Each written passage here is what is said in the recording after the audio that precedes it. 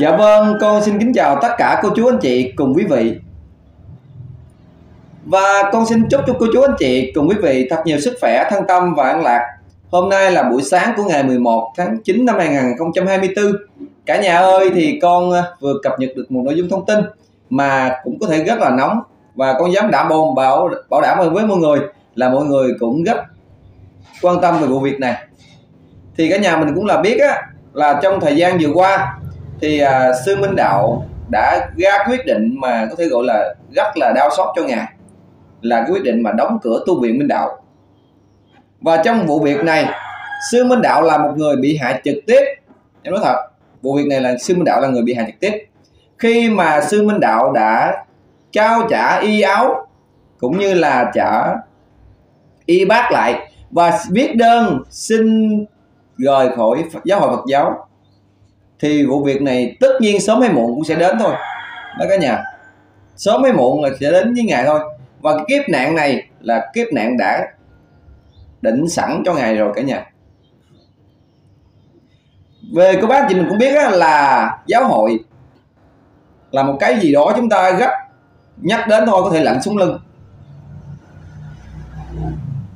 Và họ đã đê tiện đến mức độ nào thì chúng ta cùng vào xem một đoạn video và nếu mà cô bác chị mình thông qua một cái đoạn ghi âm này thôi thì cô bác chị mình đau lòng gấp trăm lần hơn sự chia sẻ của sinh đạo. Chia sẻ lên nữa.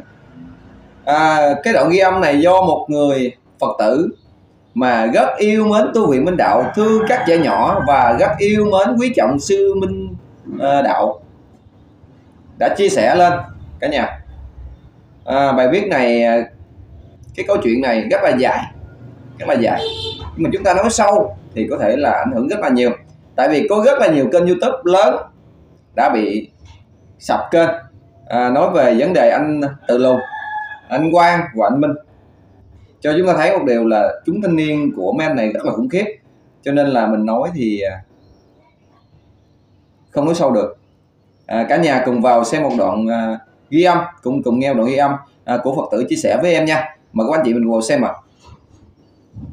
Giờ trước tiên là ở bển là chị thấy là thầy lợp được một cái mái nhà giống như là để dân vọng để nằm mình chơi bình thường thôi vâng. tại lúc trước là cái sân banh nằm ở bển nhưng mà giờ hiện tại thầy nói giờ trước mắt qua thì chưa có chỗ ở thì thầy sẽ che bạc thầy trò nằm ngủ đỡ yeah. Dạ. à, rồi à, rồi lúc đó ví dụ như à, Phật gia hộ mà thầy có được à, Phật tử thương giúp đỡ kinh phí thì thầy sẽ cất lên một căn nhà trước cho thầy trò nắng mưa trước rồi từ từ từ từ từ từ rồi thầy sẽ tính tiếp cho giờ thầy nói giờ đột ngột quá giờ thầy không biết sao hết dạ. chị đang ở trong chùa chị mới ăn cơm xong à à có nghĩa là bây giờ vẫn được vô trong tu viện hả chị không tại vì uh, ngày hôm qua là giúp thầy đi họp ở trên uh, xã về á, dạ. là người ta người ta lúc đầu ta dụ thầy dạ. người ta nói thầy uh, vô đi rồi uh, kêu mấy cái người nhà của mấy em mà 13 em có người nhà vâng ạ.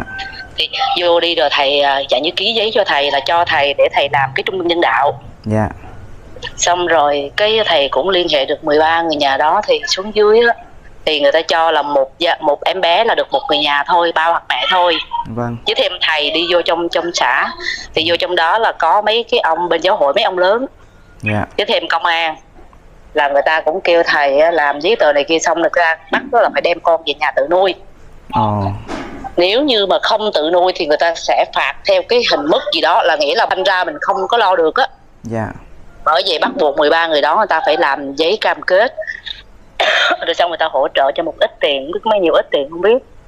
Dạ. đem về còn riêng riêng các chú tiểu mà lúc trước mà được thầy nhận nuôi thầy đứng tên thầy lấy họ của thầy á yeah.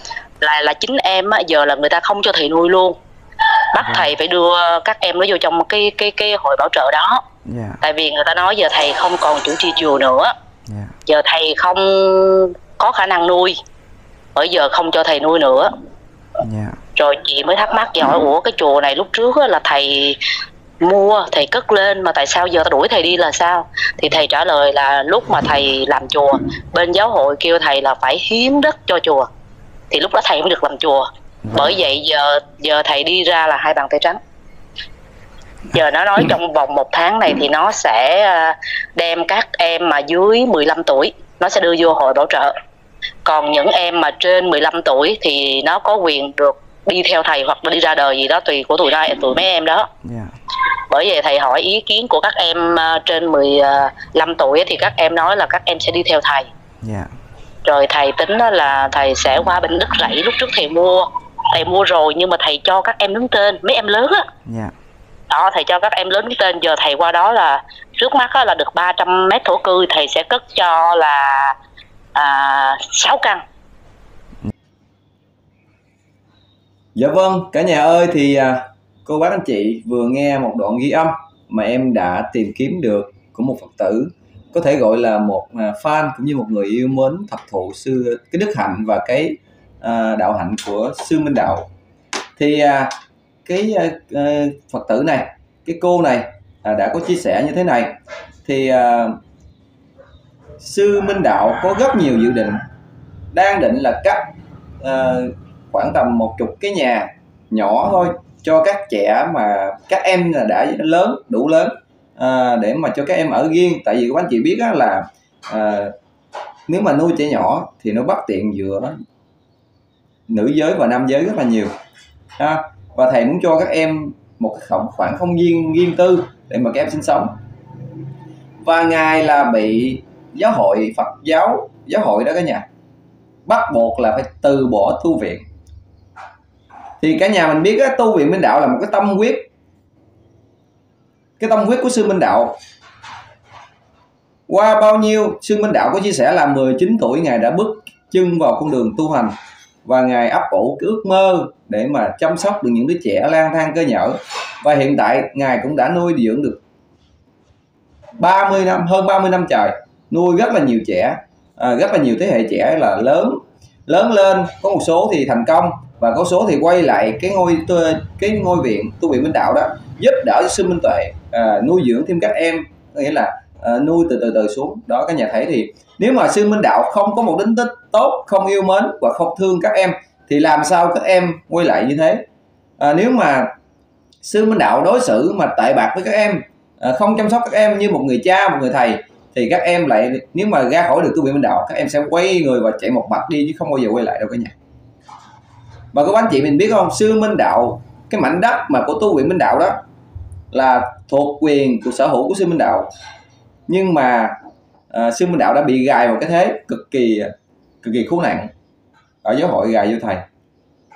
Nếu mà sư minh đạo trả y áo và y bác lại và viết đơn viết một lá đơn gọi là xin rời khỏi giáo hội thì cái ngôi tu viện minh đạo đó và cái mảnh đất đó sẽ không thuộc về quyền sở hữu của sư minh đạo nữa mà quyền sở hữu của giáo hội Phật giáo. Ha. Nhưng mà trong cái vụ việc này đất đai là của sư minh đạo. Được Phật tử người ta cho người ta tặng người ta kính biếu người ta quá yêu mến sư minh đạo cái đạo hạnh và đức hạnh của ngài. Người ta tặng cho ngài để mà nuôi dưỡng à, các em nhỏ. Thì ngày hôm nay tu viện minh đạo và đất đai là bị mất trong trên tay của giáo hội và những cái người có thể gọi là ma tăng.